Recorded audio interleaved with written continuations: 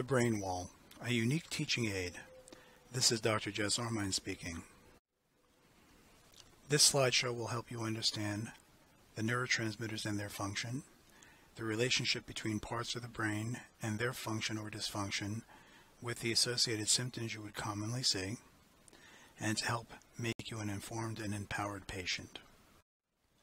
This is the brain wall.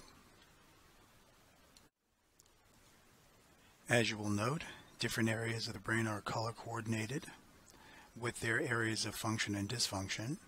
There are sections for excitatory and inhibitory neurotransmitters, as well as an area to initiate the understanding of the concept of neuroendoimmunology. Neurotransmitters. Neurotransmitters are those chemicals that facilitate the transfer of information throughout the entire body via the nervous system.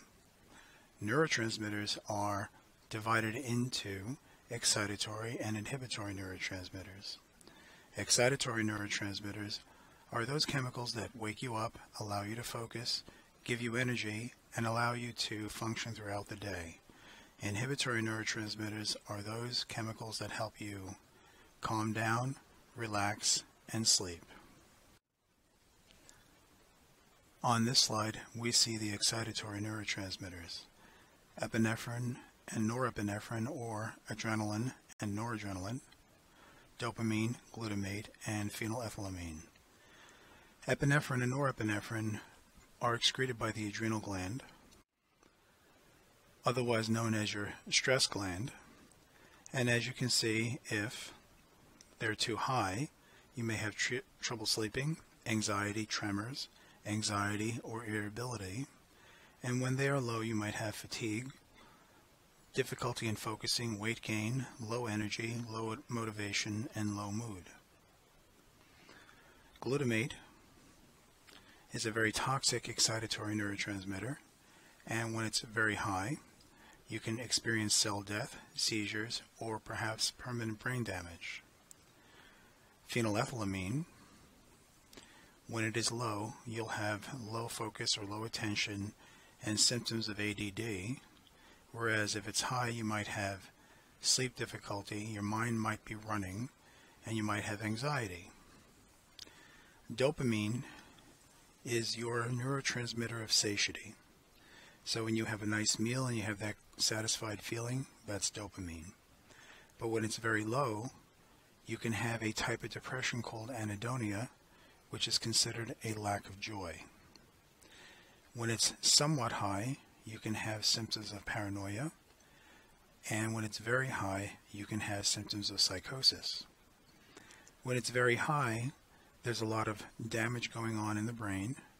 This also can cause autism and is somewhat involved in developmental delay and poor intestinal function.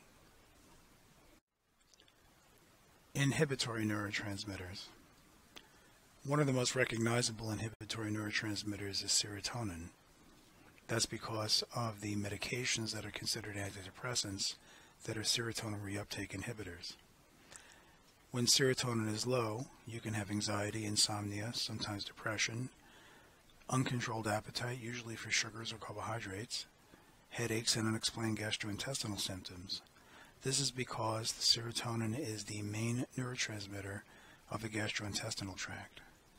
When serotonin is high, it can cause road rage, hot flashes, and irritability.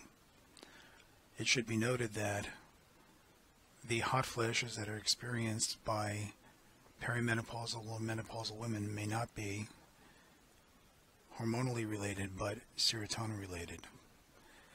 5-HIAA is the breakdown product of serotonin, and if it's high, often you'll see intestinal complaints. Taurine is an inhibitory neuromodulator, and when it's very low, you can get arrhythmias, panic attacks, cynicism, and sometimes pessimism. When it's high, you can have insomnia and hyperactivity.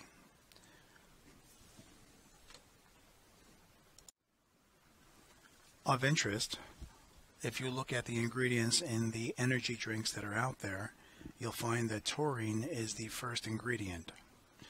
The reason that is present is not because they're trying to heal your brain, but because in high doses, taurine will act as an antiarrhythmic, protecting your heart. So on one hand, they're giving you substances that will upregulate your system and may cause heart problems, and on the other hand, they're attempting to protect your heart by giving you a high level of taurine. But then again, a high level of taurine may give you insomnia and hyperactivity. An interesting way of dealing with things, to be sure. Areas of the brain and their associated symptoms of function and dysfunction. The prefrontal cortex. ADD tends to live here. The function of the prefrontal cortex is attention, judgment, impulse control, empathy, critical thinking, and this area grows until age 25. A dysfunctioning prefrontal cortex will give you distractibility, impulsivity, poor judgment, laziness, tardiness, and everything that one calls a teenager. That is because the teenage brain has not fully developed its prefrontal cortex. The neurotransmitters that are active in this area are dopamine, epinephrine, and norepinephrine. The anterior cingulate. OCD, obsessive compulsive disorder, and ODD, oppositional defiance disorder, tend to live here. The anterior cingulate is responsible for your flexibility and adaptability. Those people who are stubborn, hold grudges, have addictions, who are oppositional or argumentative, tend to have dysfunction in this area of the brain, and serotonin is the major neurotransmitter of this area. The basal ganglia. Anxiety lives in the basal ganglia. Left-sided and right-sided dysfunction have different expressions. Left-sided you might have language problems, you may be verbally anxious. Right-sided dysfunction will cause internal anxiety, maybe suicidal thinking or self-mutilation. This is your brain's idle. This is how you stay in the moment. Dysfunctionally, anxiety, panic attacks, pessimism, conflict avoid avoidance, very tense necks or shoulders, and tremors. GABA is the main neurotransmitter of this area. GABA, gamma-aminobutyric acid. This is an extremely important inhibitory neurotransmitter that was not mentioned elsewhere. GABA is the chief inhibitory neurotransmitter in the mammalian nervous system, and when you have enough of it, you can calm and sleep. When you don't have enough, you can have anxiety, insomnia, or tremors. Things that raise GABA in the body are substances like alcohol, benzodiazepines like Xanax, Klonopin, or Ativan, and marijuana. Those substances will stimulate or agonize the GABA A receptor, the difficulty with the GABA A receptor is that it's very much like the McDonald's off the highway, fast on, fast off. So when you stimulate the GABA A receptor, you get a release of GABA, but it's very short-lived. Also, that's presuming you have enough GABA in your body. There are substances out there that will give your brain GABA, and they are things called phenylated GABA, It's important that you utilize phenylated GABA instead of the more common GABA because phenylated GABA will cross the blood-brain barrier and this is a discussion for you and your clinician.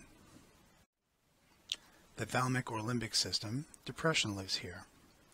The thalamic limbic system is where you have your emotional filter, your charged emotions, your libido, your smell, your appetite, your sleep cycles. This is the area that colors your experiences so that when you have an experience and you assign a certain importance to it, this is where that's done. Also, this is why when you smell certain things, you relive certain emotions. When it's dysfunctional, there's depression, appetite, sleep problems, decreased sex drive, social isolation, increased negative thinking, Serotonin is the main neurotransmitter that runs this area. The base of the brain is considered the temporal lobe.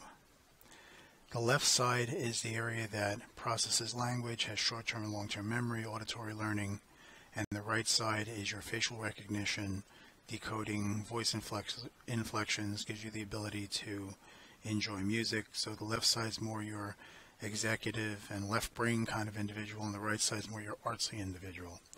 A dysfunctional left temporal lobe area will give you aggression, fighting, sensitive to slights.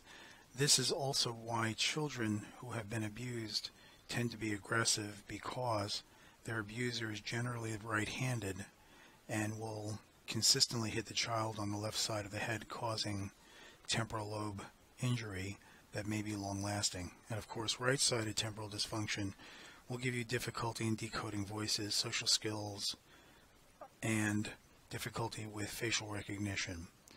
This is also the area of memory, bipolar disorder, and psychosis. Memory may be just as simple as giving ginkgo biloba, uh, acetylcholine, or maybe some dopamine. Bi bipolar disorders are generally treated with anticonvulsants and GABAergic agents, and psychosis is generally treated with antipsychotic drugs. Neuroendoimmunology.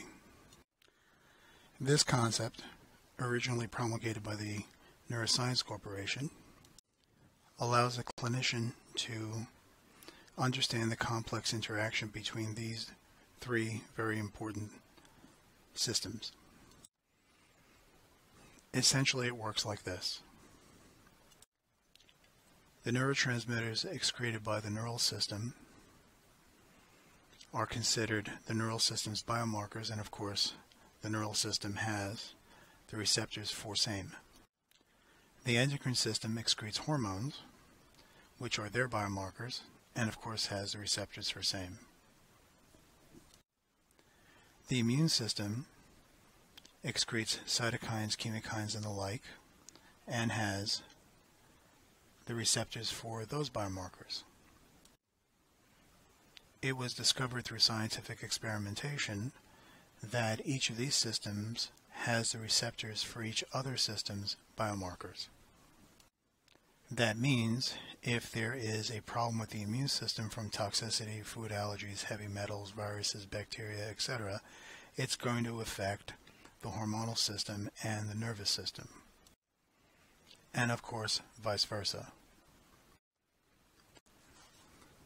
This is Dr. Jess Armine thanking you for your attention, and I hope that you have learned a lot about the neurological system, the brain and its functions, and the functions of the neurotransmitters.